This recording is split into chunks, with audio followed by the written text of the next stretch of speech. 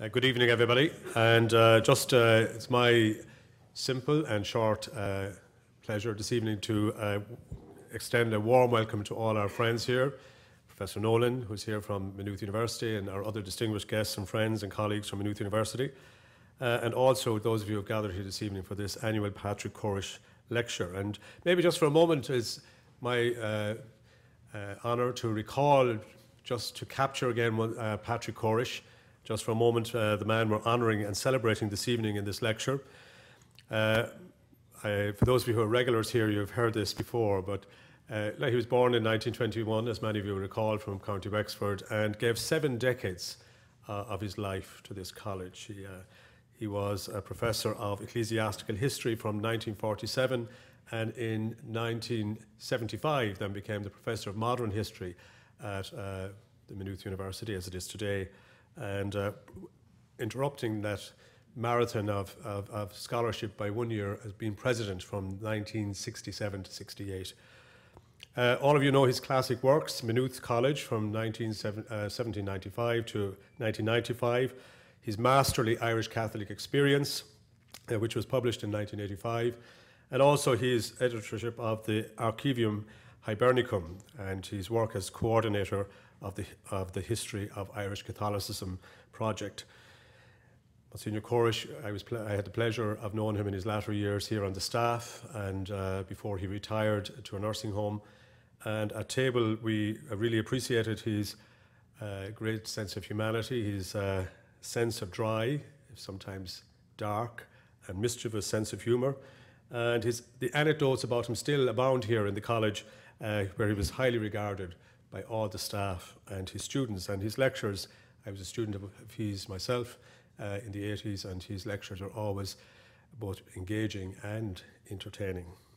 So, this annual lecture, uh, the Patrick Corish Lecture, is a wonderful tribute to a man who gave so much of his life and uh, his scholarship in this college, historian and scholar. And I'm delighted to welcome Father Columba Stewart, uh, who uh, follows in the steps of a, a long list of distinguished uh, speakers and uh, scholars and historians to deliver this annual tribute to Patrick Corish.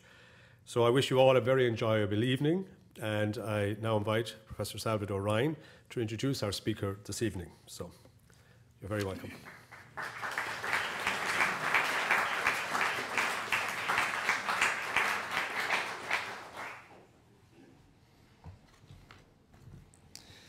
Well Ballyori is Furgate Fáilte chuig an ócáid speisialta seo. You are all very, very welcome to this very special occasion tonight.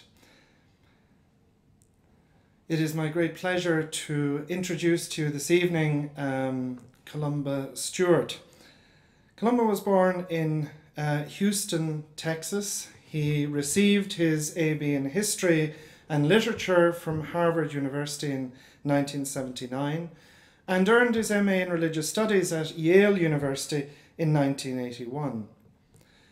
Although at one stage reputedly ha- uh, having considered a career in law, on the 11th of July 1982 he professed vows as a monk at St. John's Abbey in Minnesota.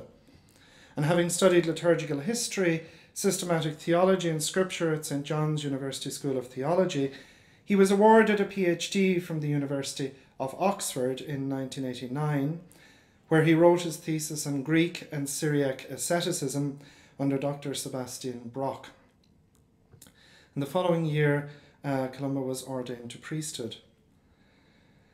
Columba has been a prolific scholar of early and medieval monastic studies and of Eastern Christianity, publishing a number of books, beginning with Working the Earth of the Heart, the Massalian Controversy in History, Texts and Language to 431 as part of the Oxford Theological Monograph series in 1991, and later Cassian the Monk, published by Oxford University Press in 1998, and indeed a host of academic articles and book chapters. He is currently preparing a new study of the origins of monasticism, which will be published by Oxford University Press. Since 2003, Columba has been executive director of the Hill Museum and Manuscript Library at Collegeville, Minnesota.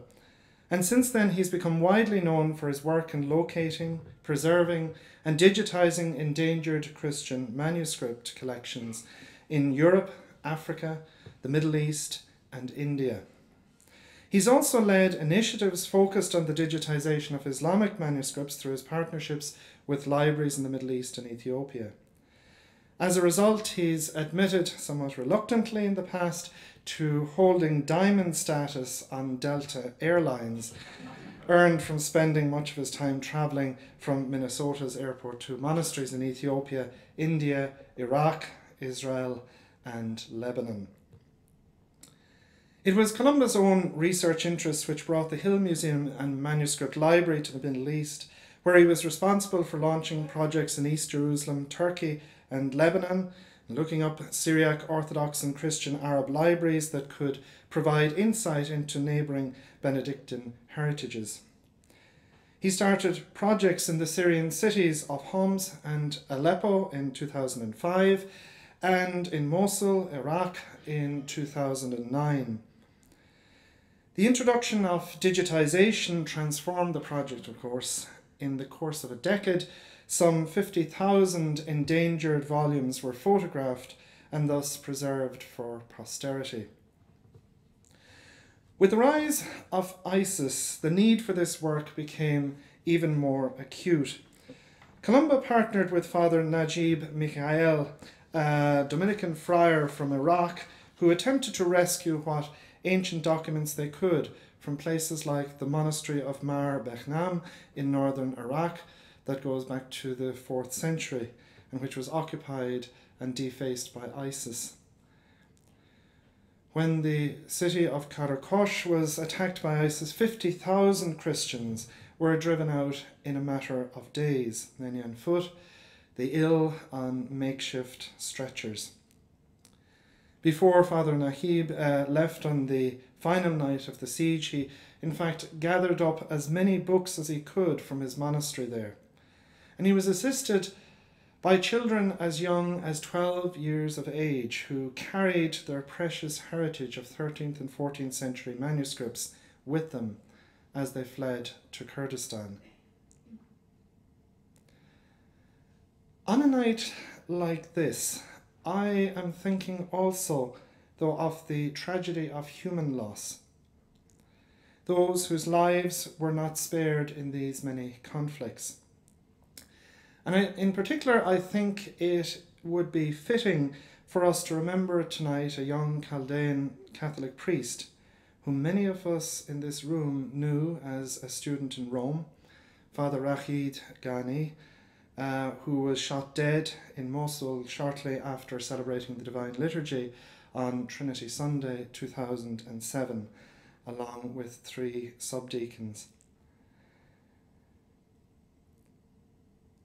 There has been international recognition of Columba Stewart's work to rescue and preserve these ancient documents, which contain the voices of minorities from the Middle East whose history has been in danger of being utterly erased.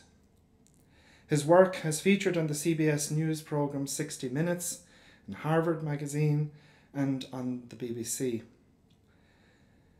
Now, while many of us will be familiar with the story of the Monuments Men during World War II, there is an equally compelling story which one day will be more fully told of what I think will be called the manuscripts men of the early 21st century who have sought to preserve the patrimony of minorities whose very existence in the Middle East hangs in the balance. And when that tale is eventually told, the story of Columba Stewart, the scholar monk from Minnesota, will loom large. Columba we who are ever more conscious of the very fragility of our world heritage, not least after witnessing recent incalculable losses as the Museo Nacional in Rio de Janeiro, described by many as a lobotomy of the Brazilian memory. As we think of events like that tonight, we also, in particular, owe a debt of enormous gratitude to you and to so many others who have worked with you in this vital work of cultural preservation. Columba, we look forward very much to hearing your presentation. Thank you.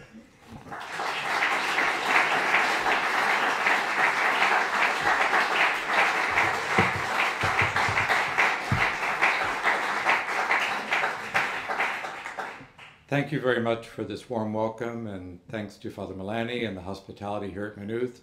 Thanks to Salvador for the invitation and for the kind hospitality.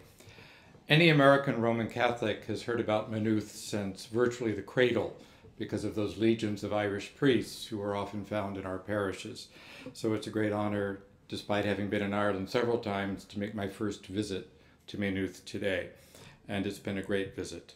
And I'm very honored to give the Corish lecture. I made the mistake of looking at the list of people who've given it previously. And then I made the further mistake last night of watching the video of Peter Brown, my mentor and friend, give his lecture in 2014. You're not going to get that.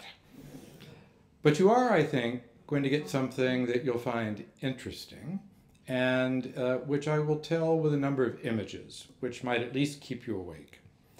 So my task tonight is to explain a little bit about the work that Salvador was just introducing, and I'll do it essentially under four headings. I'll talk first about the threat to manuscripts and why that matters. Secondly, responses to those threats over the centuries. Thirdly, present efforts undertaken by my monastery and the Hill Museum and Manuscript Library at St. John's in Minnesota present efforts to respond to the threat using the best tools available today. And then, as part of that, give you a survey of the work that we've been doing with endangered Eastern Christian communities in the East and Africa, and just a little peek at the work we've been doing with Islamic manuscripts. And finally, and very importantly for the scholars in the audience, know that there are many, I'll be saying something about archiving and access because as we all know from our holidays, so what if you take the picture? If you don't know what it is, and if you lose the disk or the thumb drive or whatever else it is you put it on, it's gone. So part of our responsibility is making sure that doesn't happen. So let's go ahead. I'd like to show this image of an, a, not perhaps an endangered manuscript, but a manuscript that's been around for a while and like many of us, has seen a few things and bears on its face some of its experiences. At first glance, this marvelously worm-eaten manuscript is understood by most people to be coming out of what religious tradition? Taking a quick glance at it. It's written in Arabic, so the assumption is it's a Quran or some other Islamic manuscript. And in fact, it is an Arabic language, Greek Orthodox, Byzantine Rite, horologion, or basically Book of the Liturgy of the Hours, used by Antiochian Orthodox Christians in Lebanon and Syria.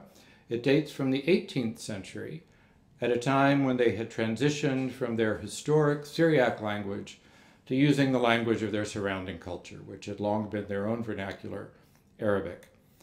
What I like about the worms that attacked this manuscript is that they were evidently literate because you'll see they avoided the letters. So they ate whatever they could, but they had a respect for the psalm or the hymn or the kontakion or whatever else it was and didn't actually eat it. So when we think about the threats to manuscript culture, remembering that everything we know about how ancient people thought and felt came to us in manuscripts. Their monuments tell us things, their art tell us things, but the words in their heads and their hearts, those we know from manuscripts. One of the threats is the fact that manuscripts are simply fairly fragile objects. And if you get them wet, if you leave them outside, uh, if the insects get at them, they're gone. But there are other threats as well. Some of you may recognize this as the former uh, historical archive, the Historisches Archiv in Cologne, Germany. This is where the memory of much of northern Germany, including manuscripts taken from Benedictine and other monasteries at the time of the Reformation, Uh, this is where it all went into one of these great state institutions where in places affected by the Reformation or the French Revolution or Napoleonic period, all of these things were kind of hoovered up and taken into state libraries. One morning in 2007, the whole thing collapsed. They were digging a new uh, underground, so putting in a new sort of underground railway, and somebody had not done a proper engineering survey. And so they were digging a tunnel, and the whole building collapsed into it like a collapsing uh, house of cards, taking with it medieval manuscripts, modern archives, photographs, essentially everything that had been put into that ultra modern, ultra secure storehouse of knowledge. A similar example, also from Germany, which today we think of as eminently safe, is the fire at the Anna Amalia Bibliothek in Weimar. So you see the fire burning this historic building. It took with it the printed book collection of that well known library. Fortunately, the medieval manuscripts were safe. And fortunately for both the Historisches Archive and for this library, we had in fact microfilmed the medieval manuscripts. So many other things were lost, but there had been at least some effort to preserve them before the crisis. Much of what I'll speak about tonight, however, has to deal with threats like this a car bombing in Lebanon, the random nature of violence that we find not only in places like the Middle East, but even in major cities of Europe and in the United States the fact that something uh, terribly destructive can happen without any warning whatsoever and take with it whatever is nearby human beings, monuments, buildings, and cultural heritage. Another threat, which is also relevant to our work, is that posed by collectors, the black market. This is a very handsome 15th century Ethiopian manuscript of some importance, having books of the Old Testament. You can see it has a very distinctive design on the right-hand side. This is the online catalog entry uh, from the prominent Scandinavian collection in which it is now found. Now, those who are uh, into following auctions and what happens to cultural heritage these days will immediately go to the line marked provenance because they'll want to know where it came from. And what you see there is the name of a dealer. So, where did it come from? It came from Ethiopia, where we had microfilmed it in the 1970s. So it was in a monastery. We filmed it, cataloged it, described it. A few years pass. Ethiopia experiences revolution, civil war, and next thing you know, it's in London, and then it's in Oslo. So this is not exactly what was supposed to happen to that manuscript, but at least this one is known. Think of all the other manuscripts that disappear in a tourist suitcase. Go to a collector who doesn't choose to make known the fact that he or she has amassed this fabulous collection of Ethiopian or Syriac or Arabic or Latin or whatever type of manuscript. So the threats are many. So when manuscripts are imperiled, and you need to make sure that there's a copy of it somewhere, what's the obvious answer? Well, you call one of us. So this is how we used to do it. So uh, my monastic forebears uh, spent a lot of time hunched over copy desks like this, uh, gathering manuscripts, making sure there was a copy available for use, and all of those cliches we have about monks, whether in Ireland or elsewhere, who kept the texts alive. But the immediate predecessor, actually, for what we've been doing in our work is a more modern monastic project, and that is the work of the Congregation of Saint Maur one of the French Reformed Benedictine congregations arising after the Reformation, uh, particularly in the form of its great scholar Jean Mabillon. And maybe many of you know of him and his work.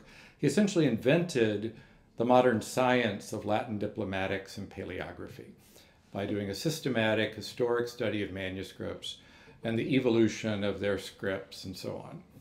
He was also a great collector of manuscripts either acquiring them from churches and monasteries where they were thought to be obsolete with the rise of printing, or by uh, arranging for copies of them to be made. And so he and his successors did these marvelous voyages littéraires as they went through France and Italy and all across Europe, trying to find these manuscripts and taking them to their monastery at Saint Germain des Prés, where if you visit the church, which is left of it in Paris, you can see the memorial to Mabillon, which at one time was actually his tomb, Uh, his remains disappeared at the time of the revolution, but they rescued the plaque. And they had this marvelous library, which then became the core of the Bibliothèque Nationale. So the manuscripts are still there, it's just you have to see them under different auspices. So if you fast forward then, the French Revolution, the ups and downs of the 19th century, and then you get into the 20th century and two world wars, people began to be anxious. And some of us in the room are old enough to remember the Cold War and the possibility that there would be a World War III in Europe, that it would be nuclear, and that there would be a massive destruction of cultural heritage, far worse than what had been seen even in those catastrophic two wars on European soil earlier in the century. So some Benedictines began to be anxious about what would happen, and they realized that monasteries in Austria, through all the ups and downs of the previous centuries, had kept their manuscripts. Everywhere else in Europe, they disappeared into state libraries. But in Austria, they kept them. So what were we going to do? So my predecessor, Father Oliver Kapsner, the founder of what is now the Hill Museum and Manuscript Library, said we should go microfilm manuscripts in Austrian monasteries.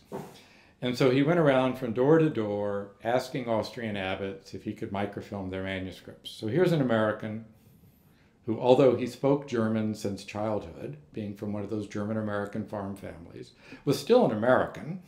And he was talking about microfilm, whatever that was, and asking them to open their libraries of great medieval manuscripts to this project. Finally, after many refusals, he met a young abbot, recently returned from studies in Rome, who was au fait with what was considered to be technology in those days, and said, You'll start here. And so the project began with the mobile microfilming studio you see here in this wonderful Volkswagen that some of us remember as kind of the great uh, exploring vehicle of the 1960s that you take on your cross country trips and so on. And they set up shop in these medieval libraries. So you see the stacks of medieval manuscripts on the floor. We discourage that practice today. But they were microfilming them uh, quickly and then producing this extraordinary archive and rather systematic coverage of libraries, not only of Benedictine uh, monasteries in Austria and then Germany and other parts of Europe, but also other religious orders and state libraries, including the Austrian National Library. Since 2003, we have continued the project using digital technology, and we have switched our focus away from Europe for the most part, except for some work in Eastern Europe, to parts of the world which cannot do the work themselves. Uh, countries in the European Union have access to all kinds of resources for this kind of work, but people in the Middle East, Africa, and Asia do not. So we have started a new project with digital imaging, and we've been working with communities of various kinds, including uh, this group of three young Armenians in Istanbul, who then went on to digitize the only Armenian manuscripts that remained in church hands in Turkey after the Armenian genocide. So all the others either left Turkey to go to the Republic of Armenia or to places like Lebanon or Syria, or they simply disappeared. And then about 750 made it to Istanbul, uh, where they were able to be digitized. So we are continuing in the digital age the work of our Benedictine forebears, whether they be copyists in the Middle Ages, or the Congregation of Saint Maur, which is exemplified in one of my favorite discoveries, which is the Jean Mabillon iPhone case. So this brings it all together monks, manuscripts, digital, and so on. So tonight I'd like to speak particularly about the work that we've done in a, rather forgotten part of the historic Christian world. Many of you know this depiction of the Christian world by Heinrich Bunting. I think it's 1581 or so, if I remember. And he's depicting the Christian world as consisting of three equal parts. You have Europe, Asia, and Africa, with the holy city of Jerusalem in its center. And then where I come from, just beginning to peak in the lower left hand corner, uh, maybe a few Christians there, but you couldn't really take it seriously yet. This is perhaps a last moment in European understandings of Christian history where there would be recognition of the vast historical significance of Christians in the Middle East and other parts of Asia as far as India, as well as in Africa, that these were ancient, important Christian communities. Rather than viewing these through the later lens of mission territory. And then the surprise of European missionaries who got there and discover people who say, We're already Christian. And then the problem being that they weren't the right kind of Christian. So I'll focus on the lobe of the, um, the flower, which is marked Asia, which covers quite a bit of territory. And you can see under the Latin name on the map the current name of some of these places. So we have Damascus, we have Antioch, we have Haran, Babylon or Baghdad, Nineveh, modern day Mosul. Uh, this is our territory. And these are the places that we'll be looking at a bit this evening. So before we go there, I just want to say a very quick word about how we do what we do when we go to these places, as we did with those young Armenians in Istanbul. So our plan has always been, since 1965 when we started, to photograph complete manuscript collections. We don't choose what we think is important because we don't want to make that decision for scholars 200 years from now.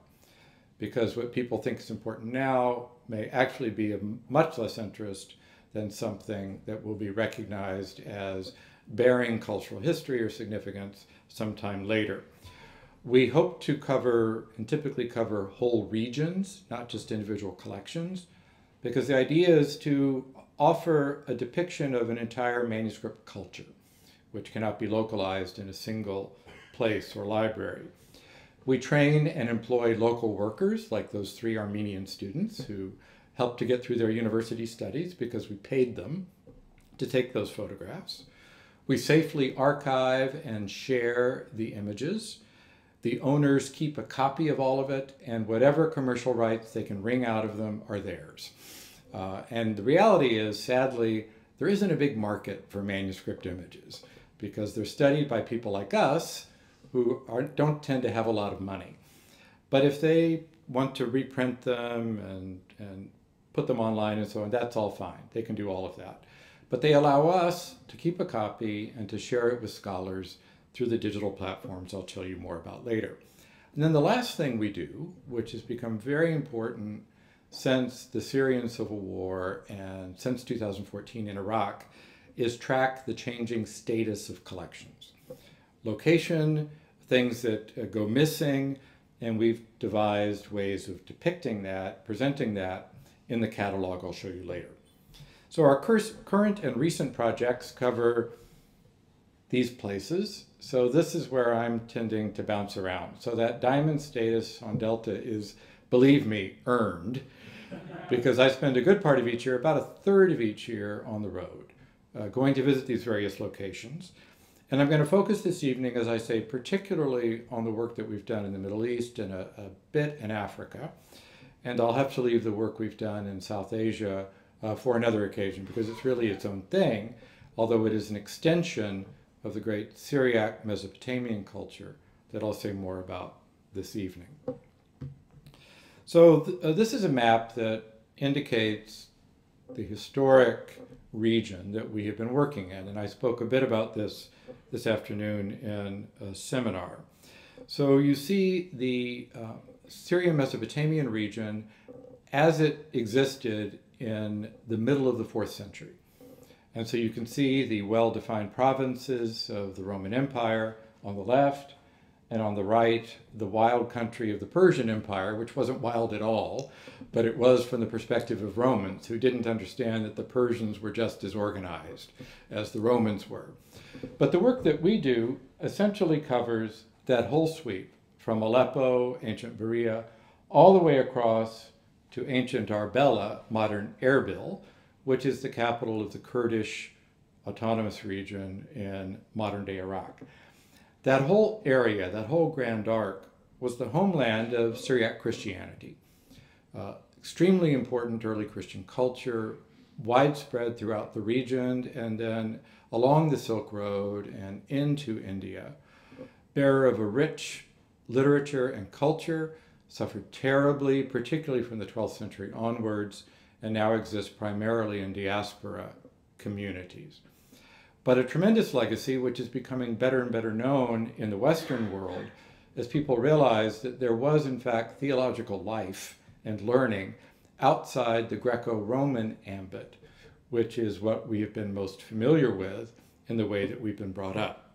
So this is an area where we've done quite a lot of work. This is a view of the Mesopotamian plain looking into Syria, taking from Mardin, which I'll tell you more about in just a moment. And as you look into the distance, and if you peer closely, you see all these mounds. And you think, isn't that hilly? And then you think, no, those are awfully regular looking mounds, aren't they? And you realize, oh, it's just like Ireland. You have all of these archaeological sites everywhere you look, which are vestiges of these earlier civilizations, which have never been excavated because there are thousands and thousands and thousands of them. So it's an enormously significant region. The Syriac language, which is uh, a dialect of Aramaic, the lingua franca of the entire Near East in the ancient world, was the literary dialect of Edessa. And Edessa is famous for many reasons in Christian history. Uh, and Edessa remains uh, a rather interesting town in southeast Turkey, where it is currently known as Şanlı Urfa, which is its Turkish name, meaning glorious Urfa but it is the ancient city of Edessa. And you can visit a sacred pool if you go there today, which has been sacred by every civilization that ever lived there. So it's sacred for changing reasons or explanations, but the same very hungry carp seem to have lived in that pond forever. And you can still uh, buy the little pan of feed and uh, take your life in your hands by throwing some of it in to the sacred pool. Today it's a very tranquil site surrounded by various madrasas. So here you see them around. But then if you look at the upper left-hand corner of this image, you see a square tower, which serves today as the minaret for one of these uh, madrasas. And you think that doesn't look terribly Islamic or vernacular in architecture. And then you realize it's one of the vestiges of the Christian churches of Edessa.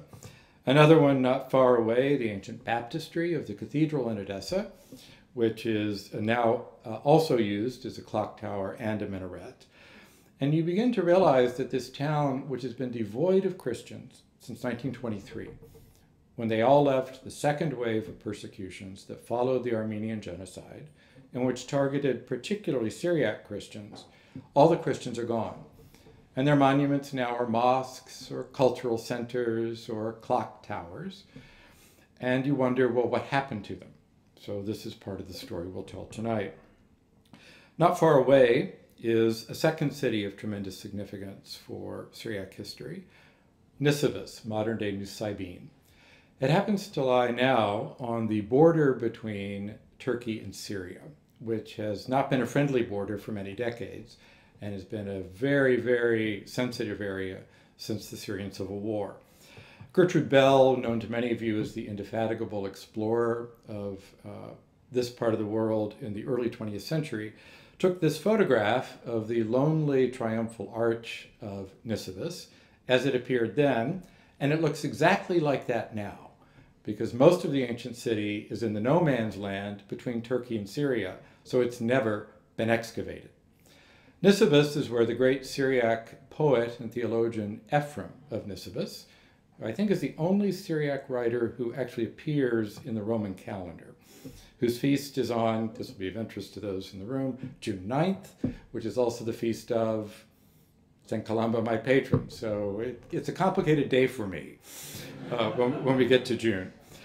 Fortunately, on the Turkish side of the border has been preserved the baptistry of a fourth century church in Nisibis, and a baptistry associated with the Bishop Jacob of Nisibis. And this very interesting baptistry, which seems to us to be in a remote corner of the Christian world, bears an extraordinary Greek inscription that runs along one side of it, and you can barely make out the Greek letters uh, sort of in the center of the photograph. It was deciphered, of course, by Germans early on and extensively published. And you see the inscription reporting that this baptistry was erected and completed in the year 671 of the Greeks, 359 AD, and names the bishop and so on. A reminder that there was an extraordinary reach of learning, not only indigenous Syriac, but also the presence of the Greek world with its language, philosophy, and culture even in this area that we think of today as remote, which was certainly not in its day. Not far from there is the town of Diyarbakir, which is ancient Amida, if you study late antique or Roman history.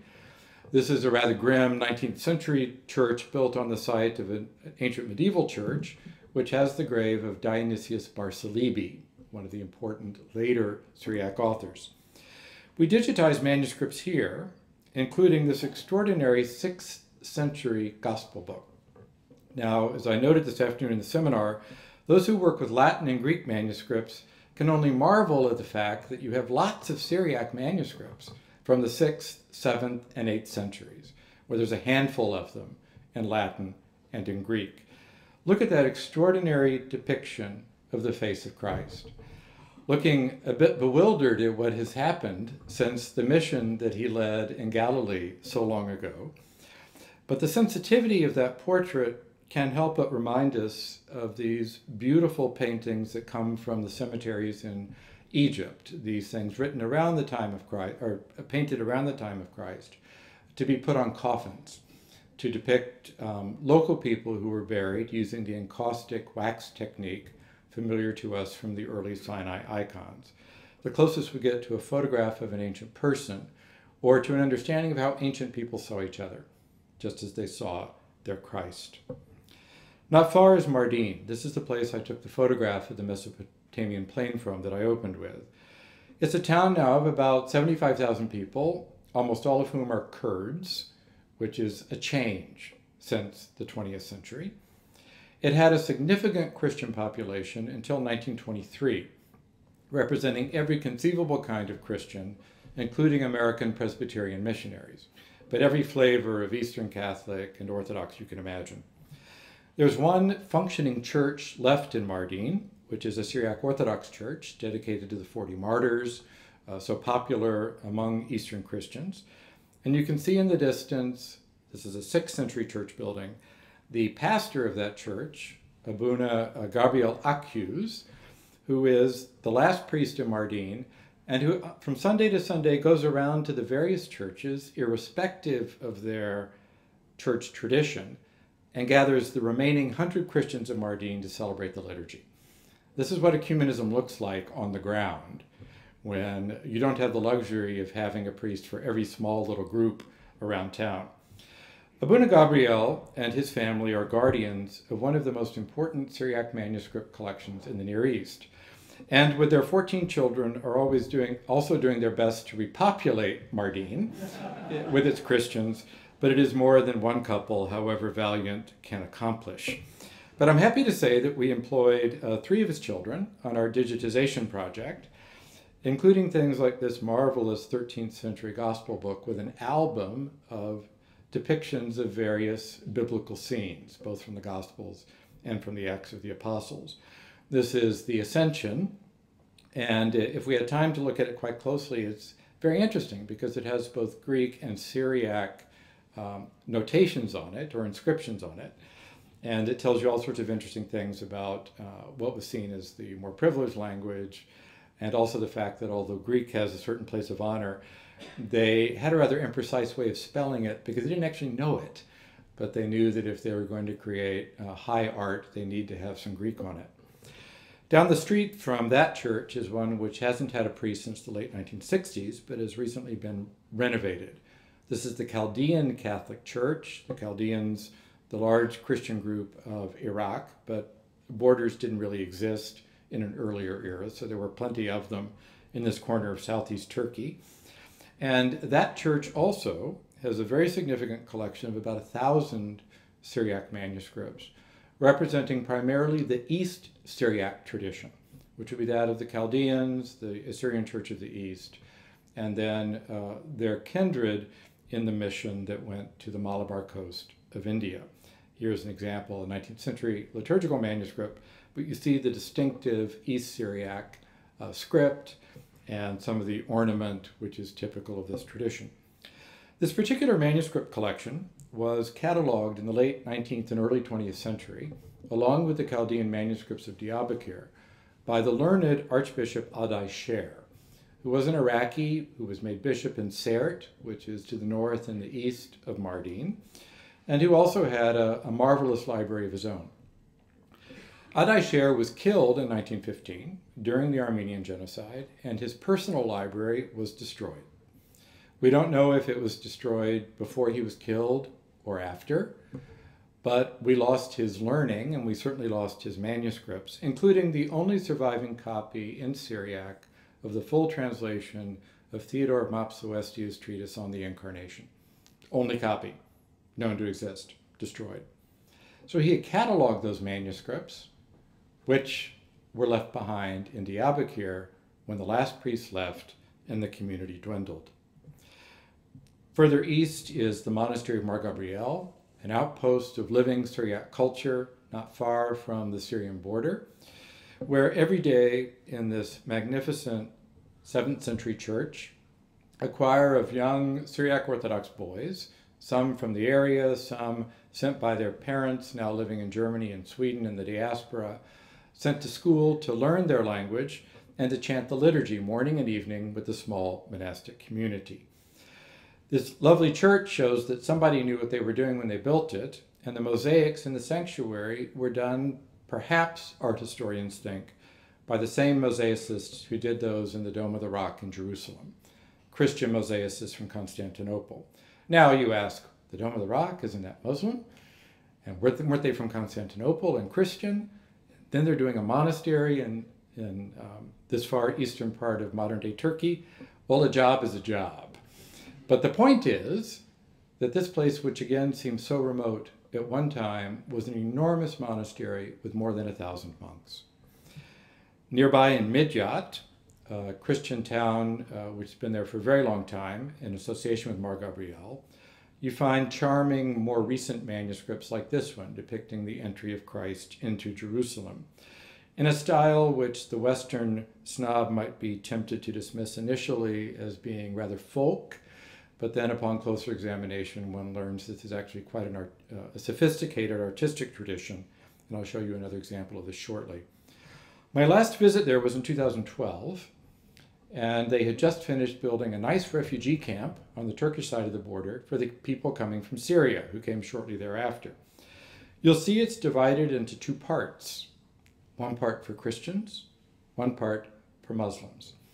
And if you look carefully, yes, this may be a refugee camp, but it equally could, could be considered a concentration camp to deal with the threat thought to be posed by these refugees from Syria. So now we turn toward contemporary troubles and what we've been dealing with uh, in these last several years. We did a lot of work in Aleppo, famous for its Umayyad Mosque, which is not as flashy as the larger one in Damascus, but nonetheless is, was quite a handsome, beautiful structure. And I spent a lot of time in my visits to Aleppo wandering the um, alleyways of the old city and then the Christian quarter, visiting various libraries and churches to persuade them to let us digitize their manuscripts. And I'm happy to say that almost all of them did. Extraordinary things like this Armenian Gospel book, which, if we just flash the image up on the screen, you'd be tempted to think was European. Maybe it's even English or something. And then you look more closely, no, it's Armenian. It really is different from some of this European style. But it's a reminder that Armenian manuscript culture presents this curious kind of hybrid between the Byzantine and the Latin, because the Armenian Christians have always been, in a sense, between those two larger cultural groups. I mentioned the Christians of Edessa who left in 1923 and they went to Aleppo. And here you see a photograph of their refugee camp upon their arrival in 1923, a photograph that I was shown by the last surviving member of that group that came from Urfa in 1923, Abraham Nuro, who died, I think, in 2009. I met him in 2008. They brought with them their manuscripts, which were kept in their new church in Aleppo, which is the Church of the Refugees from Urfa. And here you see it locked in a safe in their church, being opened by their bishop, Mar Metropolitan of Aleppo, Mar Gregorios Yohanna Ibrahim, Syriac Orthodox. On the occasion of a seminar in Aleppo in 2008.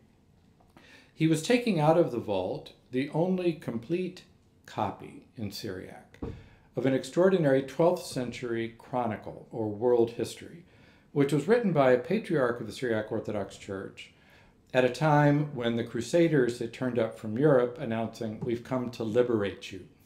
So, those of you who know the history of the Crusades, or those of you who know what happened after my compatriots went into Iraq in 2003, know that the arrival of the foreigner in the interest of liberating the minorities is not always a wise or successful venture. And Michael records in his chronicle, here held by Sebastian Brock, my Syriac teacher at Oxford, greatest living Syriacist, Michael records in his chronicle uh, the punishment inflicted on the local Christians by their Muslim rulers for the arrival of the Franks, the foreigners, who had come with this mission of liberation. Particularly this little passage, which describes the fact that the Christians were forbidden to ring their church bells. And so this was one of the punishments inflicted upon them. I'm happy to say that Mar Gregorios, after many visits to Aleppo, uh, allowed us to digitize all of the manuscripts of his library, including that one. And in 2009, we were able to present it, or 2010 actually, we were able to present it to him uh, along with a group of benefactors of our library in a visit to Aleppo. And a printed facsimile was made, and there it is. 2011, the Syrian war broke out. So here you see that same Umayyad mosque I showed you earlier. On the right, there's a pile of rubble that is the later medieval minaret, which had been blown to smithereens. Mar Gregorios himself was kidnapped along with the Greek Orthodox Archbishop of Aleppo in April of 2013, and they were never heard from since. So, Syria, Aleppo. Everyone says it's the most stable country in the Middle East. Nothing will ever happen there because Assad has the place firmly in hand. And then, with virtually no notice, I having been in Syria for the last last time in April March 2011, uh, the first struggles broke out one week later, and this was the harbinger of this new wave of turmoil. There had been 2003 and its aftermath. Now you have Syria and Iraq, to which we now turn, and the terrible tragedies that have afflicted the so-called Nineveh Triangle in northern Iraq since 2014. So there you see this region in the north with Mosul on the western side, Erbil in the Kurdish area on the eastern side. And as you run up all the way to the Turkish border, this is historically an ancient Jewish, Christian, and Yazidi region. The Jews are all gone. They had to leave because of the tensions between Israel and the various Arab states. The Yazidis have become a small minority, which we heard a lot about in 2014, and the Christians have retained their presence in some of these villages. So my partner there, as was mentioned in the introduction, is Father Najib Mikhail, a Dominican of the Priory of Mosul, uh, which is actually part of uh, the French Dominican province. Is it Toulouse? Which one? Paris. It is Paris. Okay, so they're actually under French Dominican uh, control, but they're all Iraqis. And this is this extraordinary Dominican presence, which began in the 18th century with Italians, and then it was taken over by French. And they did a lot of evangelizing and so on. And then at a certain point realized that there were limits to what they could do in terms of conversion. So they did all kinds of wonderful pastoral work and ethnography. So amazing work in describing the peoples they met, learning the languages, and taking photographs. So Father Najib, by training a petroleum engineer before he entered the Dominicans, had the idea um, even before 2003 that the manuscripts and books belonging to the Dominicans of Mosul should be copied because you just never know. At that time, the threat was that people were coming and just taking them and not returning them. Probably some of his fellow Dominicans would put one in their room, and you never knew if it would make its way back to the library. This is the way it is in religious houses. But the wisdom of his project became clear after 2003, and particularly after it became impossible for the Dominicans to remain in Mosul, uh, not because they were a particular target of religious persecution, but because Mosul, after 2003, became rather lawless. And uh, priests and religious could command a high ransom if they were kidnapped. And so there was a lot of criminal activity involved uh, with uh, Christian leaders in Mosul. And so the Dominicans left and they went to Karakosh, which is one of these ancient Christian villages in the Nineveh plain between Mosul and Erbil. I first visited Iraq in 2009 going over on uh, Ash Wednesday. So somebody said, What are you doing for Lent? And I said, I'm going to Iraq. What about you? So that's where I went. So I, I went to Iraq and uh, had the, the joy of attending a diaconal ordination in one of the Syriac Catholic churches in Karakosh. So there in Karakosh, the Dominicans had taken their manuscripts, including this very interesting 18th century gospel book. So here you see one of these things, which again the initial glance, you might think, oh, it's folky and it's naive and so on. And then you look more closely and you say, look at those Matisse things going on. And this is actually quite interesting. So, very distinctive artistic style. 2014, the arrival of the Islamic State or ISIS. The destruction of ancient monuments, such as ancient Nimrud, destroyed with barrel bombs and bulldozers. The destruction of the shrine of Mar Behnam and his sister Mart Sarah which was leveled in one of the ISIS produced videos, which was then circulated on YouTube. That's what remains of this ancient pilgrimage site. And then in the latter stages of the war, the destruction of the modern Mosul University Library by American airstrikes. So, destruction of culture, ancient and modern, and the displacement of the Christian population, who in August of 2014 had to leave Karakosh and the other villages of the Nineveh Triangle with virtually no notice and find their way over, let's see, 40 miles, you can do the conversion yourselves, in the Iraqi heat of August to find refuge in Erbil. They were finally able to go back only in 2017, which is when uh, ISIS was pushed out of this region. And I had the opportunity to go back very soon thereafter, in May of 2017, to the same church where I had experienced that diaconal ordination. It had been tidied by those brave few who had gone back, but of course it's literally a shell of what it once was. But meanwhile, Father Najib had trained a team of young Iraqis, all young people who otherwise would have been unemployed, to rescue manuscripts damaged in one place or another, including manuscripts like this beautiful 12th century gospel buried in Baghdad in 2003 to protect it from the war that was coming. And it turns out it was actually a manuscript taken originally from Diyarbakir, where Archbishop Addai Scher had cataloged it in the early 20th century. Now simply fragments, lasted until 2003, and then destroyed by ill advised efforts to save it. So we've also worked in the holy city of Jerusalem, very near the Temple Mount, the Haram al-Sharif, with Syriac manuscripts belonging to the Syriac Orthodox community of St. Mark's Monastery. This is the librarian Abuna Shamoun, and they happen to have the oldest surviving copy of a book that was part of my doctoral dissertation. And I'm happy to say that's now digitized and online. And nearby, a first example of a recent turn we've taken in our work, which is the family library of one of the prominent Muslim families of the Old City, the Budayri family. This is one of the gates going on to the Temple Mount or the Haram Sharif, which non Muslims may not enter. But right next to it is the Budayri family home.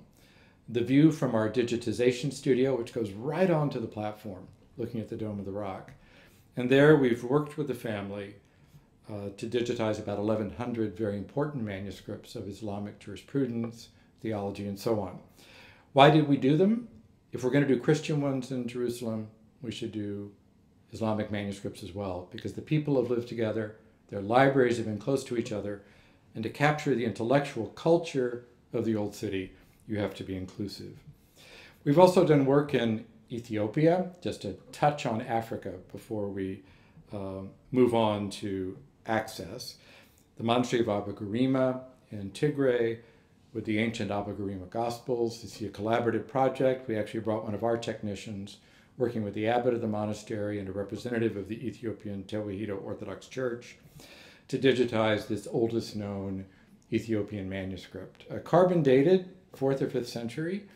A lot of people refuse to believe it can actually be that old in Ethiopia. Um, you decide.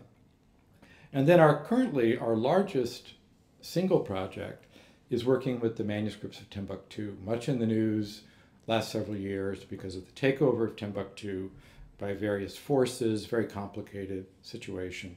This very distinctive West African Islam with its vernacular architecture. The manuscripts evacuated from Timbuktu to the capital of Bamako from the desert to a very humid climate, where I first saw them a year after their evacuation in 2013, and where we've been working hard to digitize them with local Malians, who dress like this every day, by the way. So uh, they certainly have more fashion sense than we Benedictines. So, what are the challenges and what do we do with it? And we're in the home stretch here. So, it's not always an easy landing. This is my favorite airport sign in the world. And you wonder who thought it was smart to depict the angle of landing of that plane in quite that way. And uh, the astute observer might deduce from the fact that it is in both French and Arabic that it is from Lebanon. So this is the Beirut airport. So uh, it, it's more welcoming coming in and then going out, you get the warning. We also experience things like this. This is actually, this next one is from Ukraine, but it, it makes the point that you get to the intersection, which is like this, and you can't go straight ahead either. Uh, and so very often we've had the experience of wondering, why didn't they tell us back there, where we could have gone left or right or turned around, but it doesn't work that way. So what happens to all of these hundreds of thousands, millions of digital photographs? They find their way back to our place in Minnesota, so here is a classic Benedictine complex as founded by Bavarian monks in the 19th century who looked for lakes and trees and a place where you could put a little chapel across the water so you could have this little thing to look at and meditate on. And there we have our monastery and our school and our university seminary and so on, and the Hill Museum and Manuscript Library. Summer view, winter view. So it, it is a rather ferocious climate, but as I tell people, in the summer it's delightful, and in the winter we get a lot of work done. So we put all of the images on servers. Those of you who work with digital things know you have to have multiple copies. You have to keep them in many different places. You can't just have one copy in a shoebox under your bed. And we do put a copy of everything inside a mountain in Utah, which is uh, up the canyon from where the Mormons have all their microfilm. You may know that they have all these enormous collections of genealogical records. So uh, come Armageddon or uh, whatever, or the Canadian attack when they come pouring over that northern border, uh, sometime in the future, I'll be down in Utah with my friends from Brigham Young University at our respective caves. So uh, just to summarize with, so what have we accomplished and then how do you look at it? So when you look at the uh, manuscripts we digitized in the Middle East in these various countries, you see numbers of collections and approximate numbers of manuscripts. So this is a lot of manuscripts. Those of us who work with manuscripts aren't used to thinking of collections as numbering in their thousands, unless it's the Vatican or the British Library or the Bibliothèque Nationale. And then when you um, take a slightly different view and look at them by language and uh, where you can find manuscripts for research, and you see on the top line all of the manuscripts that were able to be taken from these places by uh, European colonialists and American adventurers in the 18th, 19th, and 20th centuries, which formed the research collections of the British Library and so on. And you see what they've got, and then you see what we've digitized in these various regions. You see that we basically did what they didn't get. And so you put their collections and our digital collections together, and you get a much better approximation of what the kind of 360 degree view is of these places. And uh, it's a lot of stuff. So there are many doctoral theses which are sitting out there waiting for you to write on the basis of these collections. And yes, you can look at them. We have a site called vHMML or Virtual HMML. We call our place HMML, Hill Museum Manuscript Library. So you need to have a shorter version. We're founded by Germans, so Himmel sounds right. So if you're interested in manuscripts, you go to heaven, uh, even though we're in a basement and you can look at everything, but you can see it online, and there you can uh, see about 30,000 manuscripts now. We're putting more and more up all the time. And one of the features of our catalog, as I mentioned earlier, is the fact that you can uh, note in there if the manuscript has been moved, if it's been lost, if it's uh, been sold, if its current status is unknown. So just to tease you, a couple of interesting things you find. Um, when you open up these manuscripts from places like the Armenian Archdiocese of Aleppo, where you saw that earlier lovely um, sort of depiction of a gospel scene, you open up that Armenian manuscript and you find a surprise. So here's a manuscript written in Istanbul, actually, in the early 15th century, with a Latin liturgical book, which has been recycled as fly leaves. Now, those who work with manuscripts know you recycle older manuscripts. You don't throw anything away, use them for bindings and so on. But when you find Armenians in Istanbul recycling Latin manuscripts, you sort of wonder what happened. Then you think about the Crusades and you think about all of these struggles. And you wonder about communities which disappear for whatever reason, and then their manuscripts are left behind, and Armenians say, well, I don't, we don't need Latin manuscripts. Let's reuse them in ours. Or this one, which is also from Istanbul, although presently in Aleppo, which really sets the pulse racing of Latin paleographers who stand up and shout, Beneventan! So although it's a later manuscript, 1593, it's using uh, a manuscript which could be dated from the 11th or 12th century, possibly 13th, which could be a remnant of one of those trading colonies in Constantinople, again reused uh, later by Armenians. So these kinds of connections, movement of manuscripts, ideas, and people is what people are going to be discovering in the uh, descriptions of the manuscripts as they find their way online. So, a shout out to our sponsors. Uh, we are a not for profit project. We do not receive um, extensive government grants and so on, although we've benefited from some small grants from the National Endowment for the Humanities and so on. Arcadia, based in London, is our major funder currently, but we rely on a lot of private foundations and agencies for support. So, if you're interested, here are the URLs. Uh, check it out. HMML.org is our basic site. And then vHMML, VHIML, is where you can look at manuscripts and begin to explore. Thank you.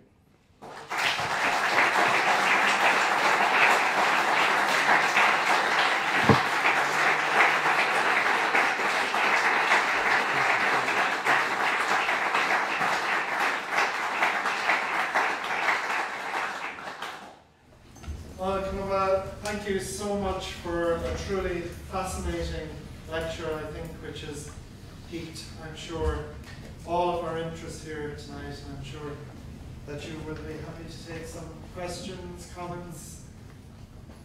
So it's open to the floor. Can you just say a word about um, any recording of uh, manuscripts from the Syriac communities of India? You have, have you done much of that? So just to repeat for, for the for the crowd, recording of Syriac manuscripts in India. We have, in fact, we've we've done quite a lot of work in Kerala in southwest India with the St. Thomas Christians. Uh, the there are Syriac manuscripts as well as Malayalam manuscripts. The complication is that the older Syriac manuscripts were destroyed by the Portuguese when they arrived because they corrected them to reflect Roman Catholic theology rather than the um, the East Syrian tradition theology, which was found in them. So the effort to find pre-Portuguese manuscripts is, is, really quite a challenge. Uh, but we have done quite a lot of work there, both with manuscript codices in Syriac and in Malayalam, as well as palm leaf archival records. And uh, they have been imaged, they're beginning to be described, but we're really hoping to, that we'll be able to help scholars both in India and elsewhere learn more about relationships between the various religious groups in Kerala, as well as the theological and spiritual life of those Christians. Questions? Um, thank you very much for the wonderful talk. Can I ask you about what happens after this digitization? What happens to the manuscripts after that? Because it would seem perhaps they become more vulnerable in the process.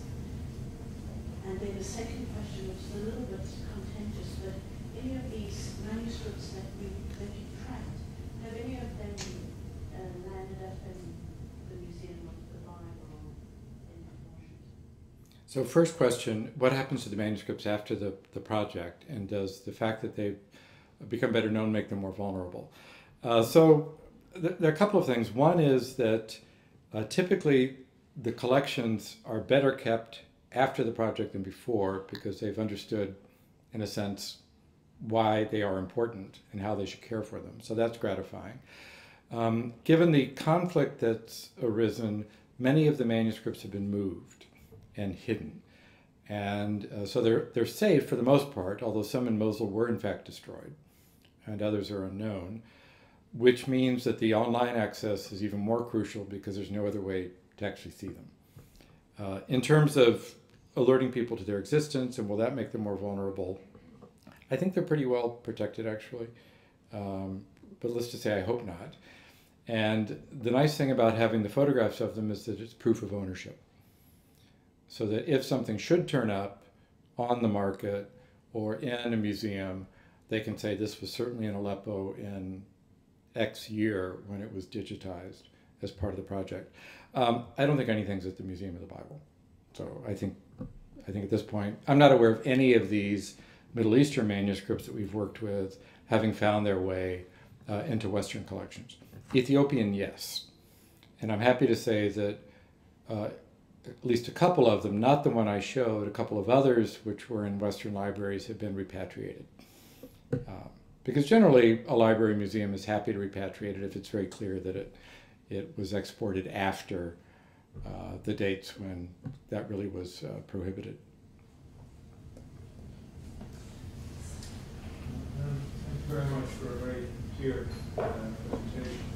I just noticed on one of your slides there that were um, indicating numbers of manuscripts from different places that have been, uh, you know, saved or at least you worked on. Uh, in the case of Egypt, there was only one mentioned. Hmm? And uh, that sort of surprises me because I would have thought that there would have been a lot more coming out of Egypt, uh, particularly the Coptic community and so on there. So I, I just wondered if you could maybe just comment on that, please. So, what about Coptic manuscripts? Because there's only one collection listed. There is only one project we've done in Egypt thus far. It's still uh, underway. It's at the monastery of Abu Makar, St. Macarius, where they had a recent tragedy. Some of you may know if you follow Coptic news, but the project continues. Um, thus far, we haven't been able to gain access to any others. Um, there are lots of stories I can tell you about the process that leads up to being given permission to work in a particular place. There's a lot of relationship building and trust building, uh, navigating all sorts of issues which can be ecclesiastical or political. Um, so we certainly haven't given up on Egypt. And those of you who study the situation carefully know that the, the Coptic Church is going through a period of some turmoil now. Uh, their position in Egypt is increasingly felt to be precarious. So, um, you know, we're staying on it, but so far it's, it's been just the one. It's a very nice collection, and some of it's currently online, um, but it, that project continues. It's about 500 um, Coptic and Arabo Coptic manuscripts. Questions? Yes, Connor.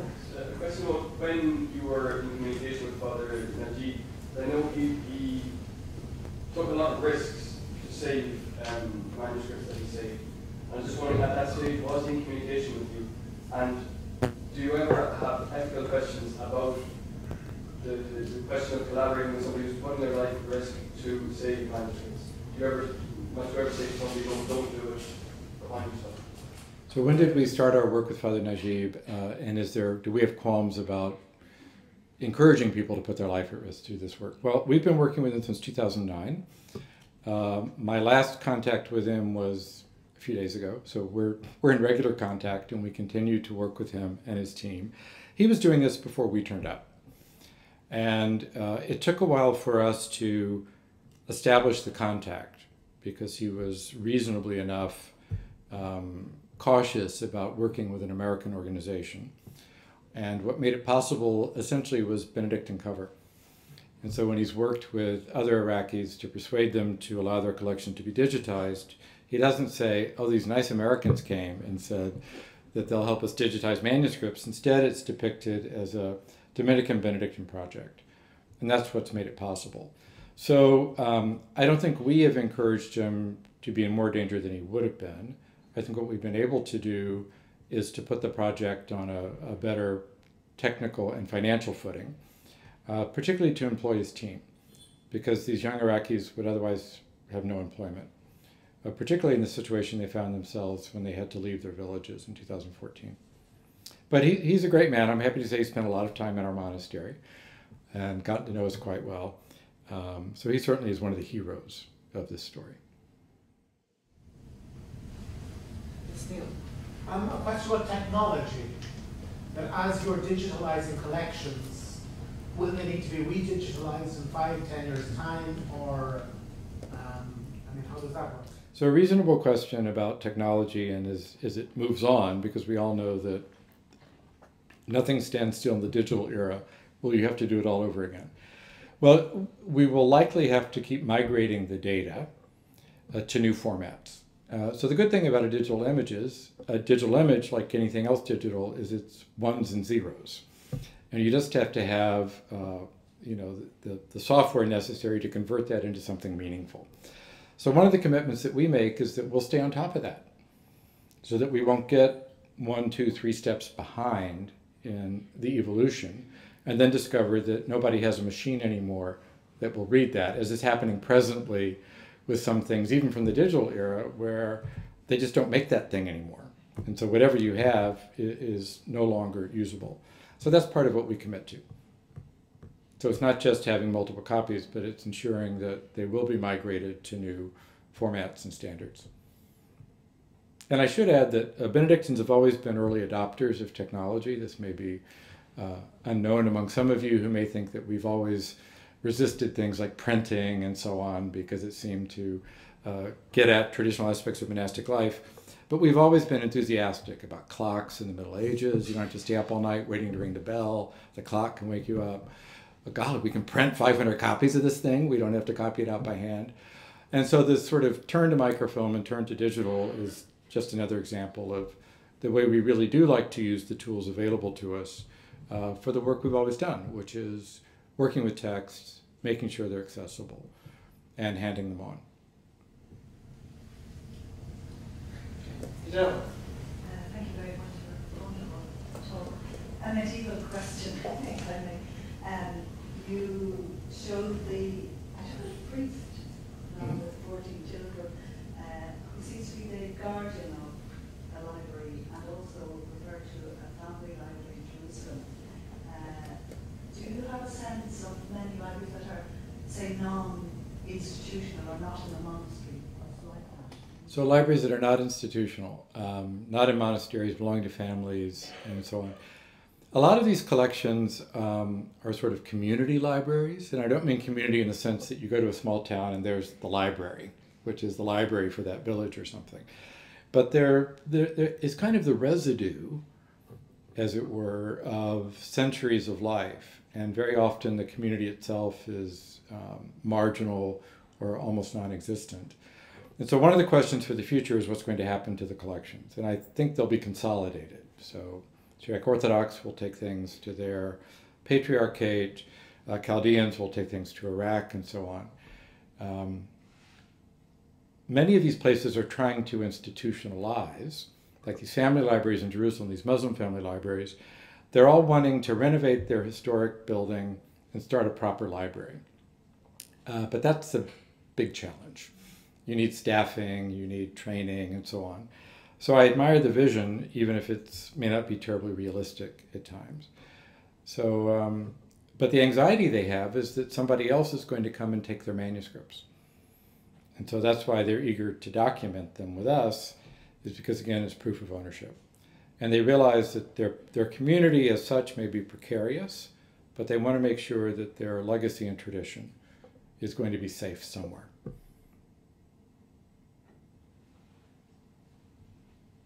Any further questions before we wrap up?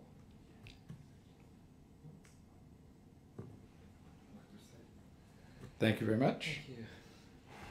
So it just remains for me to uh, offer a very warm uh, vote of thanks to, to Columba for, first of all, for being with us, for making the journey over here. It's, it's a real privilege to have you here tonight. I suppose you have opened a window for us on various Christian groups on a part of the world that unfortunately nowadays we we tend to see mainly on our TV screens and on our computers, on our social media news feeds, and oftentimes for all the wrong reasons.